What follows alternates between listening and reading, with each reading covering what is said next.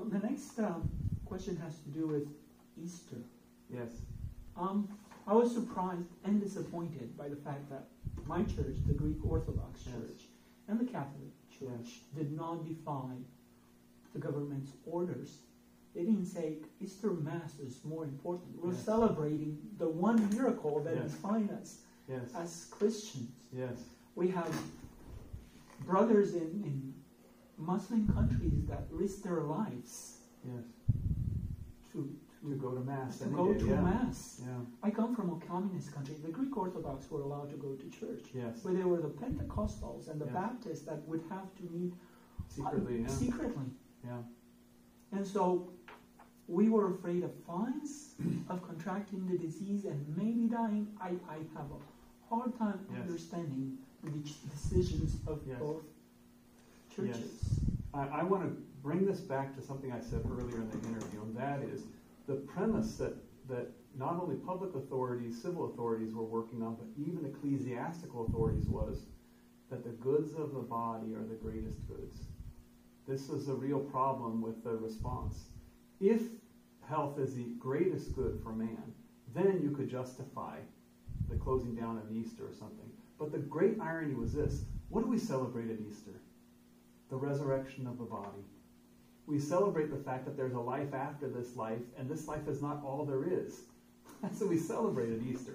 And the great irony is that they should have restricted the celebration of that. It was basically the church as a whole saying there is no resurrection on Easter Sunday. And I think it was a terrible mistake. I think it was a terrible mistake because of that. So let me say something here.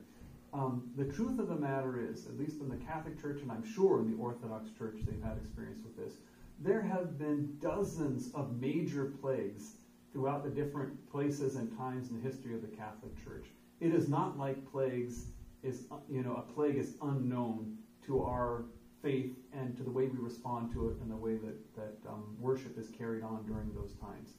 And some of those plagues were so serious that, that this last thing was um, child's play compared to it. The Black Plague At least 60% of the people in Europe. Yes. 60%. Yes. Not 0.2 to 0.5. That's right, exactly. So we're talking about something that was that was very, very mild compared to that. Even in the most extreme plagues, the saints of the church say there were two things priests were bound to do. They were bound to baptize, and they were bound to give absolution so that people's souls would not be in a state of moral sin when they died. Right?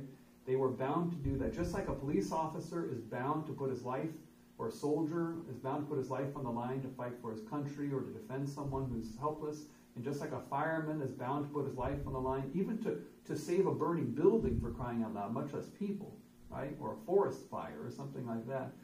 Uh, all the more so, priests should be willing and bound by their, their obligations as priests to expose themselves to some danger for the sake of the spiritual good of the flock.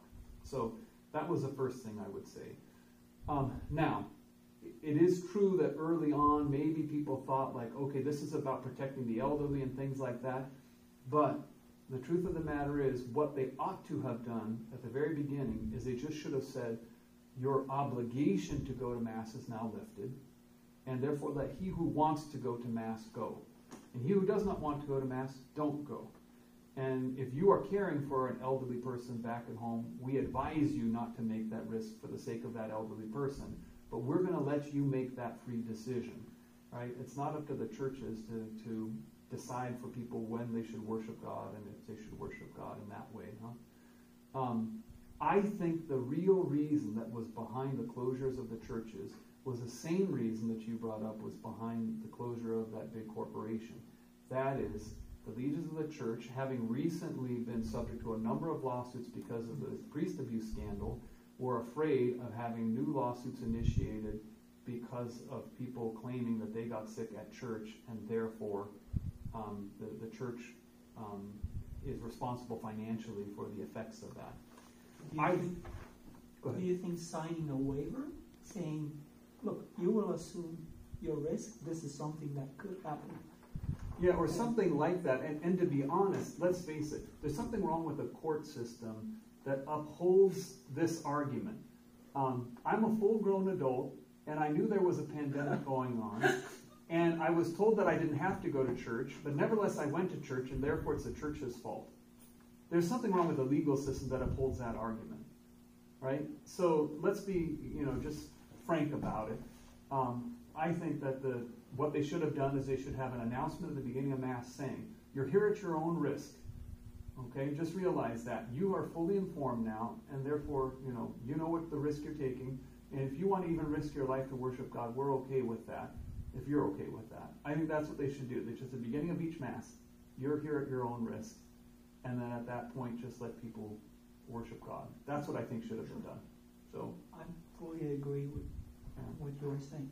Um, pretty much that uh, that takes care of the second question, which is, you know, there might be a second wave yeah. hitting us just Yeah. about Christmas time. Sure, yeah. And so, what are, I mean, you pretty much said it, but I would not mind if you repeated. This is something that I do as a math teacher. I repeat my message over and over. So, is this your solution for celebrating Christmas? Yes, yeah, absolutely. tell the faithful, here are here is the risk you are taking. Yes. It is your decision. If you want to stay, it's your decision. And if you want to go, we will not mind and we will understand. Yes, absolutely. I think that's what we should do. Yeah, and um, and again, uh, we know so much more about this disease now than we did before. And one of the things that I think is is fairly clear now is that the um, rate of transmission for those who don't have symptoms is significantly lower for those who do. And so you say, look, if you're coughing, don't come to mass. Fine, you know, it'll make everyone else on edge if you're coughing and you know whatever at mass or whatever. But if if you feel healthy and you want to take the risk, then to go ahead and take the risk. I guess I would say something like